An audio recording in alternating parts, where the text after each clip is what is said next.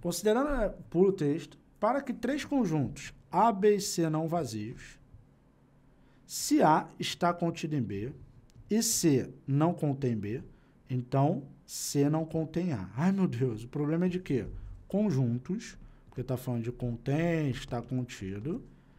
Técnica R diz o que para gente? Conjuntos assim, o que, que a gente faz? A gente monta o diagrama. Diagrama, tem nem ideia. Falando de contido, não está contido, monta o diagrama. Só que toma cuidado com uma coisa. Aqui, galera, você tem as duas informações. Ó. A está contido em B e C não contém B. Aqui que é a conclusão, beleza? Aqui que é a conclusão. Aqui que é o que deve acontecer para ver se o item está certo ou está errado. Pega essa maldade. Galera, está contido, não está contido? Ó, está contido. A está contido em B.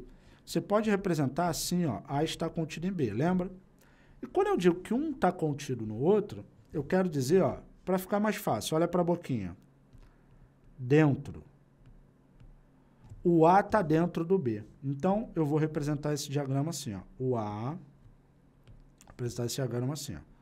O A aqui e o B, beleza? Aqui está o A, aqui está o B. A está contido em B, ou seja, o A está dentro do B. Sempre está contido da ideia de um dentro do outro, ou seja, o primeiro dentro do segundo. Aí ele diz aqui para gente que C não contém B. Ó. C não contém B. Esse é o símbolo do contém. O contém há uma grande diferença. Ó.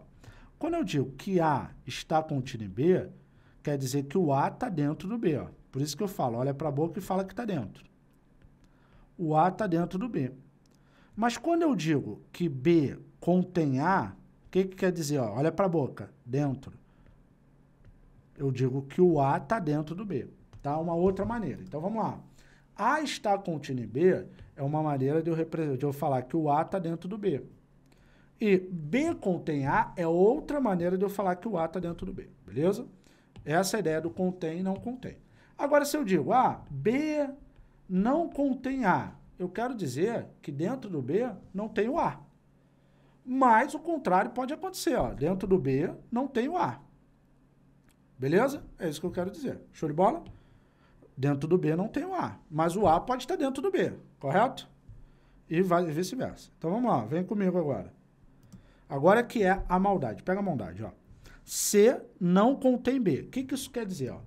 C não contém B. Né? Não contém. Não contém. C não contém B. O que, que isso quer dizer? Quer dizer que dentro do C não tem o B. É isso que quer dizer. C não contém B. C não contém B. O que, que isso quer dizer? Quer dizer que dentro do C não tem o B. Mas o C, galera, ele pode estar dentro do B. Correto? O C, ele pode tranquilamente estar aqui dentro. Ele pode tranquilamente. Não está desrespeitando. Ó. C não contém B. Quer dizer o quê? Que o B, olha só, o que, que isso quer dizer? Ó? Dentro. Ó, tu só vai negar. Não está dentro. O que, que isso quer dizer? Quer dizer que o B não está dentro do C. Mas o contrário pode acontecer. O C pode estar dentro do B. Por quê? Ó, o C, o B não está dentro do C. Ó, o B não está dentro do C. Mas o C, ele pode estar dentro do B. Então, uma chance. É aí que mora o perigo. Olha o inimigo querendo agir. Porque aí vem a conclusão, a conclusão. Então, C não contém A. C não contém A. Cara, olha essa aqui. Nessa, o C contém o A, porque o A está todo dentro do C. Então, o C contém o A. Então, com isso, eu consigo garantir que o item está errado. Questão maldosa e casca grossa. Maldosa e casca grossa. Então, vem de novo comigo. Ó. A está contido em B. Quer dizer que o A está dentro do B. Ó. O A está dentro do B. C não contém A, não contém B. O que isso quer dizer? Que o B não está dentro do C. Ó, o B não está dentro do C. Mas o contrário, mas o C pode estar lá dentro do B. O que não pode é o B dentro do C. O que não pode acontecer é isso aqui, ó. O B dentro do C. Isso não pode acontecer. Porque o C não contém o B. Mas o contrário pode acontecer. Pode acontecer do C estar tá dentro do B, correto? E aí, qual é a conclusão? Então, C não contém A? Pode conter. Se pode conter, galera, eu não consigo, então o item está errado, eu não garanti aquilo. O item está errado. Questão muito maldosa, muito maldosa, beleza?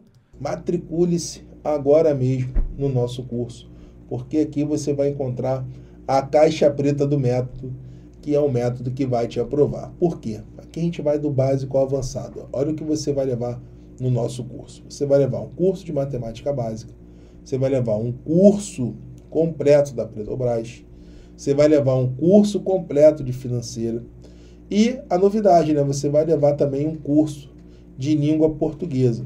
E claro, né? Você não está sozinho.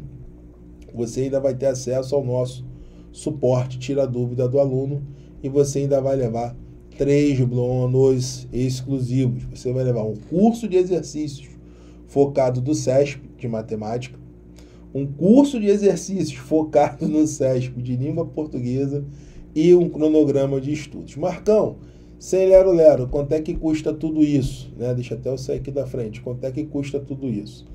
Então é continha de padaria. Se você somar todos os valores, seu curso vai sair por R$ 2.056. Mas hoje você está levando tudo isso não por 2.056, mas sim por apenas 12 de 40,98 ou 397 no Pix.